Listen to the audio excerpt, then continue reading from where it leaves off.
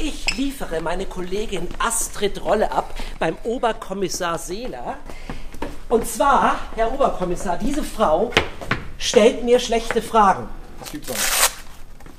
Na, das äh, kennen wir, aber sie ist ja polizeilich schon bekannt hier, ne? Das werden wir dann alles in Ruhe klären, würde ich sagen, ne? Ja. Und dann bringst du sie einfach mit. Kommenden Mittwoch beim Talk der offenen Tür. Hier,